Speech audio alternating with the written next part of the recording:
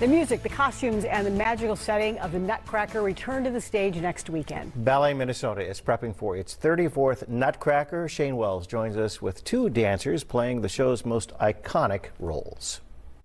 There it is. That is the Nutcracker that is featured in Ballet Minnesota's production of the classical Nutcracker, of course.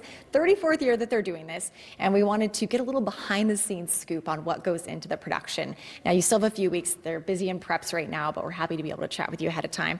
We have the human form of the Nutcracker with us, Matthew Halpas. Thank you for joining us. You've done a lot of roles in this production, but this is the first time being the Nutcracker. So that, does that feel like a lot of pressure?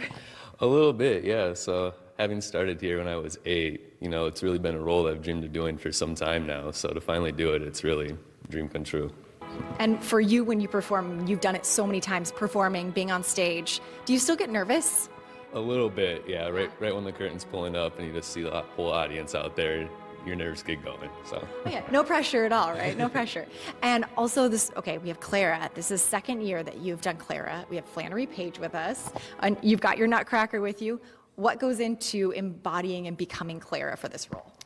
Um, I'd say just really you need to tell the story and pretend that you're dreaming everything that's going on in the story um, and just, yeah, experience it as if you are Clara.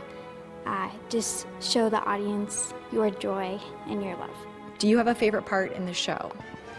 Um, my favorite part would probably be Angels. I really like it because it's after the war scene and the Nutcracker has come to life, and uh, I just feel really happy during that part.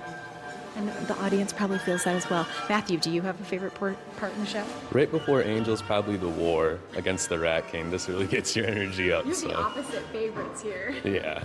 and that war, I was holding that sword a little bit ago. That thing's it's heavy. That's a workout. The sword itself is a workout. Oh, for sure. You know, and jumping around with it and doing turns, turns with it.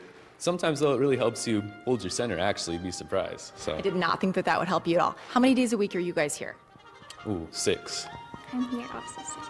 So much appreciation. You guys put in a lot of hard work. It's going to pay off. This is going to be an amazing show, and we appreciate your time because I know you're really busy. So you got to get back to dancing. We got to let them get back to it. Ballet Minnesota's Nutcracker is happening one weekend only. It is December 16th, 17th, and 18th. It's going to take place at the O'Shaughnessy at St. Catherine University. If you want to get yourself tickets, you can call the box office at O'Shaughnessy or you can check out balletminnesota.org. Back to you.